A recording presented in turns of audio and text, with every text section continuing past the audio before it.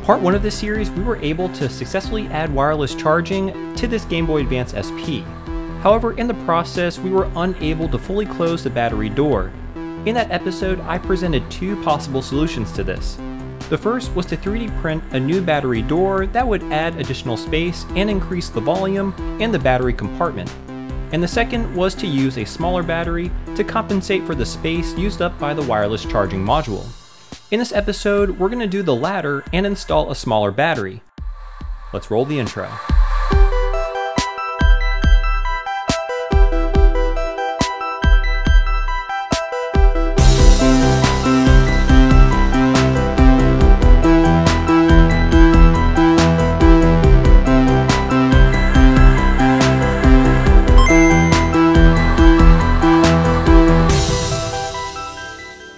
Hey everyone, how's it going? My name is Tito and welcome to another episode of Retro Renew. So in part one of this series, we were able to successfully install the wireless charging module into this Game Boy Advance SP. Now, the issue obviously that we ran into is we weren't able to close the battery door uh, because the wireless charging module took up a little bit too much space and we were trying to use the OEM battery. So if you haven't seen part one of this series and want to know how to install a wireless charger into your Game Boy Advance SP, go ahead and click at the card at the top of your screen or in the link in the description below. Now, I came up with two solutions, uh, potential solutions for that uh, in that episode, and in this one, we're actually going to be enacting one of them, and that is to use a smaller battery. So I just want to thank you guys all for the feedback and the great ideas and comments from part one of this video series. There were a lot of great ideas in there and I'm probably not going to implement them in this video, but I probably will use some of them in, in future videos to further refine the wireless charging uh, capability in the Game Boy Advance SP. So like I said in this video, we're going to be installing a thinner battery here, hopefully allowing us to fully close the battery door, the OEM battery door, so we have a nice flat surface and we can actually lay the Game Boy Advance SP flat onto a wireless charger. Now, you guys are going to want to stay all the way to the end of this video because what I'm going to do is, uh, because we're using a wireless charger, uh, that method of charging tends to be a little bit slower than directly plugging in uh, the charger uh, through the charge port. So I think it'd be actually really interesting to see how long it takes uh, to charge the battery from when it's dead to fully charged. And now, again, these are thinner batteries, so the capacity is a little bit less than the OEM battery.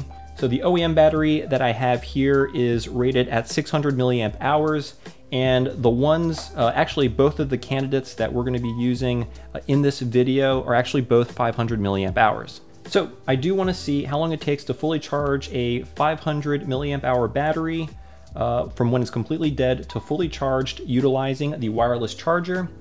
And not only that, but uh, I'm actually curious to see how long the battery actually lasts. Now, keep in mind, this is a non-modded Game Boy Advance SP. So this is a standard AGS 001. Uh, this is not IPS modded, but uh, I think it'd be interesting to compare the results to what the official Nintendo documentation states um, is for the original battery. All right, so as usual, I'm gonna go over all the components that you're gonna need in order to do this modification. And uh, I'm gonna start with the first battery I'll be using. So this is a lithium polymer battery. It is a 40, 30, 48. And, uh, and what that number actually means is uh, the 40 stands for it's four millimeters thick, the 30 stands for 30 millimeters wide, and the 48 stands for 48 millimeters in length. So basically that number gives the dimensions of this particular lithium polymer battery. And this one is rated at 3.7 volts, 500 milliamp hours. It's four millimeters uh, thick which is actually quite a bit thinner than the OEM one. I measured the OEM one and this battery actually swelled a little bit. So I believe these batteries originally measured around five millimeters in terms of thickness, but like I said, this battery, this particular battery swelled and it's actually uh, a little over six millimeters thick. So we're actually gonna save a little bit of space actually by using this, almost two millimeters of space using this battery. So the other candidate that I have is is this battery. This is a 50-22-48. So uh, again, those numbers mean that this particular battery is five millimeters thick, 22 millimeters wide, and 48 millimeters long. So this has the same length as the other battery, but it is a little bit uh, narrower in terms of its width at 22 millimeters and a little bit thicker at 5 millimeters versus the 4 millimeters. Um, but yeah, I, hopefully this one works as well. So this kind of gives you another option. And again, this one is also rated at 3.7 volts, 500 milliamp hours. Okay, great. So the last item you're gonna need is this Game Boy Advance SP battery board. Now, this was designed by Makho, and if you don't know who Makho is, Makho actually has a, a, fantastic YouTube channel where he basically does a lot of Game Boy mods and, and really just a great contributor to the community. And I think this is a really cool little PCB, and essentially what it does is it allows you to install batteries like this into the Game Boy Advance SP. So on this side, you solder the wire leads on the battery uh, to these pads here, which are nicely marked positive and negative. And then on the other side with the white uh, silkscreen, there are the actual two battery contacts that uh, actually touch the two contacts in the Game Boy Advance SP battery compartment. All right, so that's actually everything you're gonna need. I have links to everything in the description below if you plan on doing this modification yourself. All right, without any further ado, let's go ahead and get started with this mod. To get started, grab the Game Boy Advance SP battery board and break one off. You'll notice that there are some sharp points left behind, so go ahead and file them away so that you have a smooth edge on all sides. Great, now all we need to do is prep the battery wires. First, let's cut the red wire about this long. And then let's cut the black wire a little bit longer so it can reach the other solder pad. That looks pretty good. Go ahead and solder the red wire to the positive pad of the PCB. And then solder the black wire to the negative solder pad on the PCB. Fantastic. I'm just going to add a bit of Kapton tape to hold the PCB to the battery. Okay, so let's go ahead and install each battery and see if we can actually close the battery door.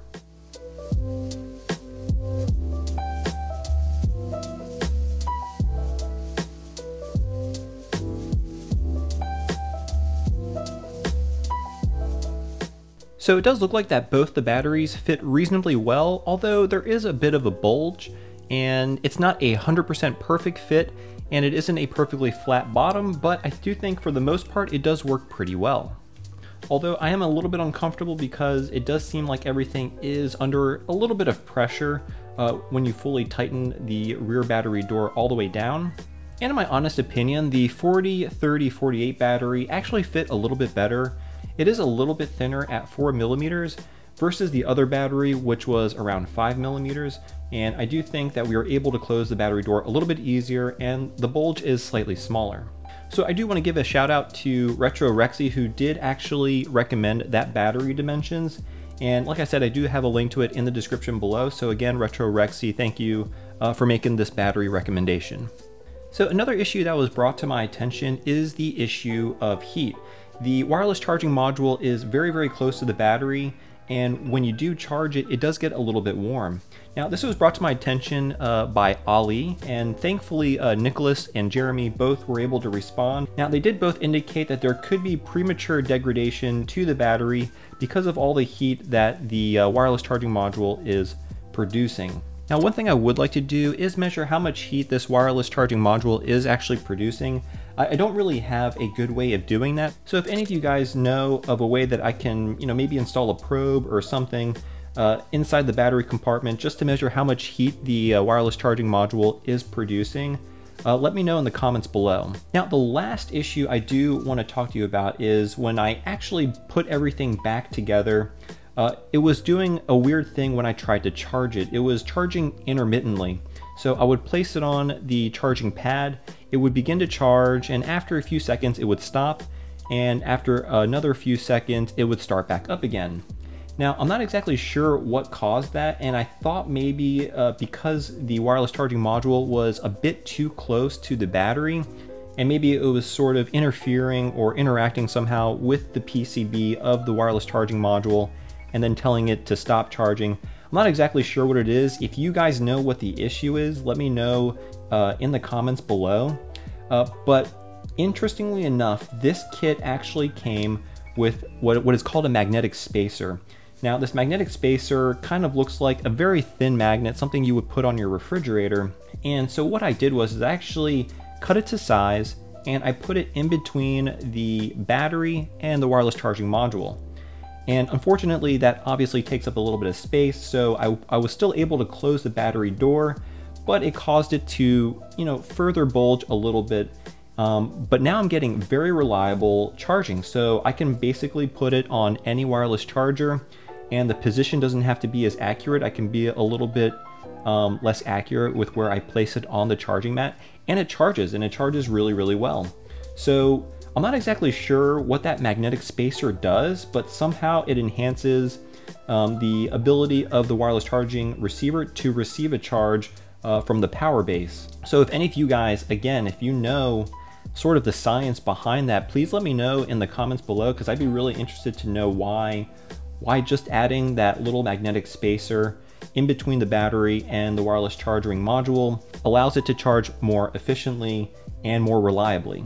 All right, so the last thing I do wanna show you guys is how long it takes for a completely dead battery to fully charge wirelessly. Because as you know, wireless charging isn't as efficient as charging through the actual port uh, through a wired connection. Uh, so I thought it'd be very interesting to see exactly how long that takes. Now do keep in mind the batteries we do have in here are only 500 milliamp hours and uh, the OEM one is supposed to be 600 milliamp hours and the documented charge time that I could find online uh, for the OEM Nintendo battery is supposedly right around three hours. So I'm going to use that as a sort of benchmark and try and see how long it actually takes to charge this. And, and then the other thing I do want to show is how long this 500 milliamp hour battery lasts. And the last thing to consider with that is that this is an unmodified Game Boy Advance AGS-001. So the amount of time that these actually last is supposedly anywhere between 7 and 10 hours. So I'd be interested to see how long these 500 milliamp hour batteries uh, allow the Game Boy Advance SP to last. Alright, so let's go ahead and let's get started and see how long it takes for this to charge wirelessly.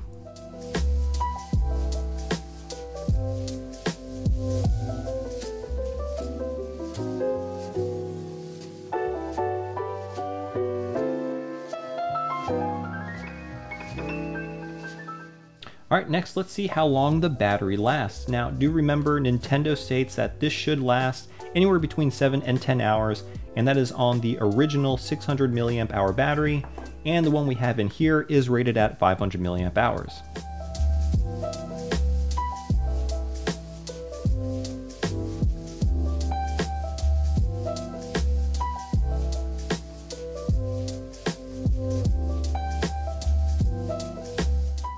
Great, so it looks like it takes about 2 hours and 15 minutes to fully charge, and it lasts about 10 hours and 48 minutes.